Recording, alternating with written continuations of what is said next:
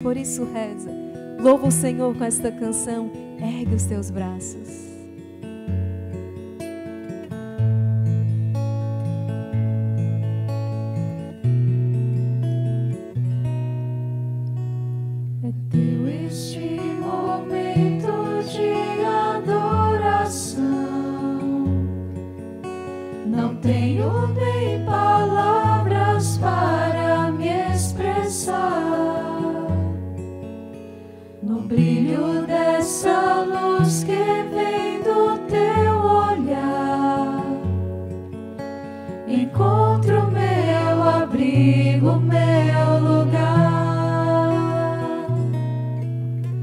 E quando estamos juntos, entre nós estás,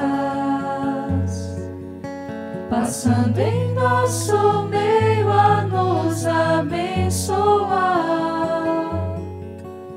e tocas com ternura.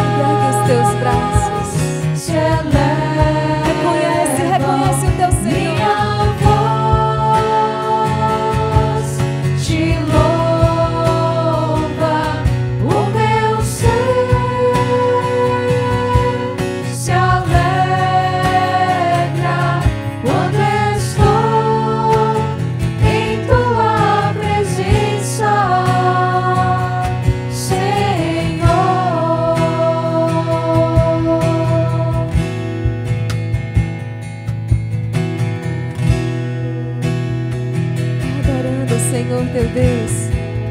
Vai confiando, o Senhor colocava no meu coração e te convida a louvar o Senhor em todo o tempo. Ele diz: Louva, minha filha. Louva também por aquilo que aos teus olhos parece não ter dado certo nesse dia. Louva o Senhor até mesmo por aquilo que no teu coração foi queda neste dia. Louva o Senhor.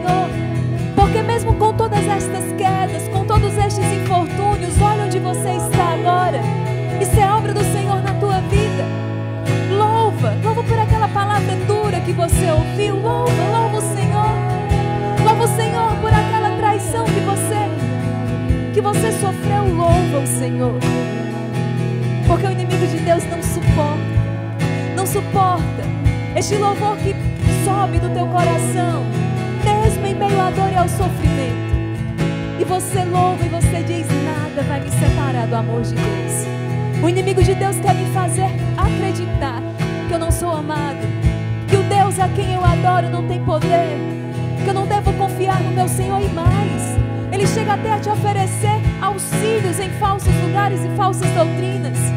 E você agora é chamado em nome de Jesus a renunciar toda, todo este atrapalho que vem das hostes infernais. E dizer: Eu me dobro, eu dobro os meus joelhos diante do Senhor a quem eu sirvo. E eu esperarei dele uma resposta. Eu esperarei, eu esperarei no Senhor Deus dos exércitos a graça que eu estou necessitando. Eu não vacilarei. Eu não buscarei a Baal, eu estarei diante do meu Senhor. Por isso, ergue as tuas mãos e clama e louva. As minhas mãos se elevam, a minha voz